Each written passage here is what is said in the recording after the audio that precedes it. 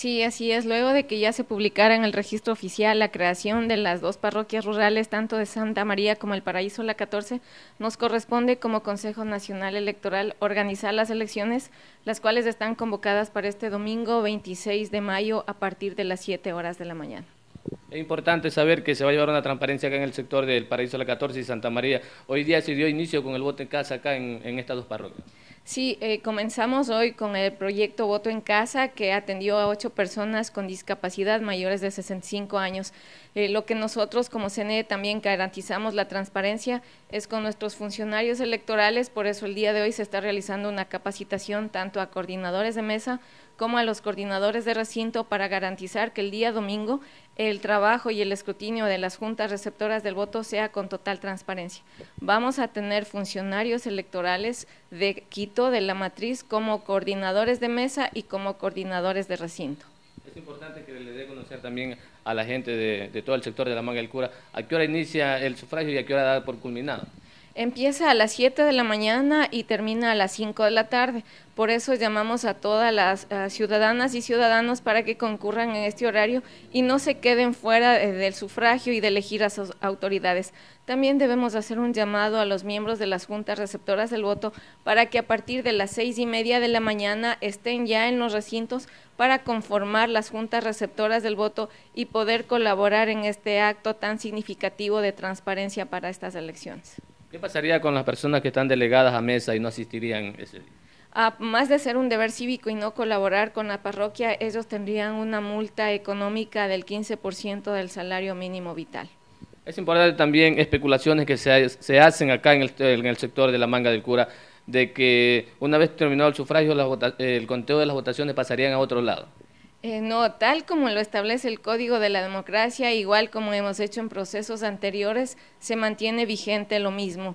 En el reglamento indica que luego de culminada la votación a las 5 de la tarde, es decir, a las 17 horas, los miembros de la Junta Receptora del Voto realizan el escrutinio en cada lugar donde constan ellos eh, y donde están designados, es decir, si en el recinto, aquí en la unidad educativa Juan Antonio Vega, hay 17 o 15 juntas receptoras del voto, cada junta hace el escrutinio en ese lugar, no se trasladan a ningún lado a hacer el escrutinio el escrutinio por parte de la Junta lo realizan ahí.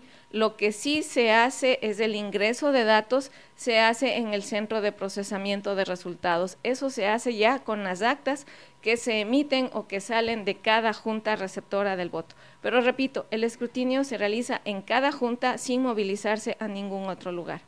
¿A qué horas ya se tendrían unos resultados previos para saber la lista que iría ganando?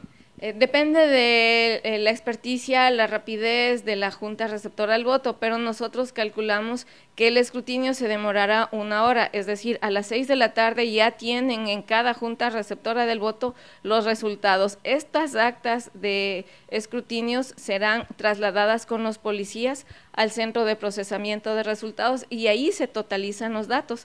Calculamos que igual esto se demorará una hora, es decir, a las siete de la noche, a partir de las siete ya empezaremos a tener ya datos oficiales ya con transmisión de resultados.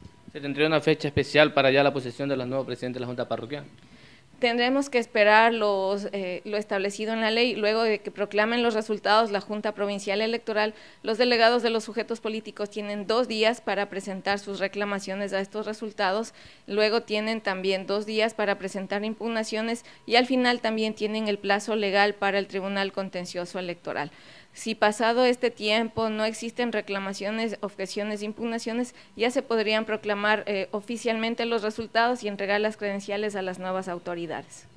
Para culminar, hágalo otra vez cordialmente la invitación a todo el sector de la manga del cura para que se cita este domingo.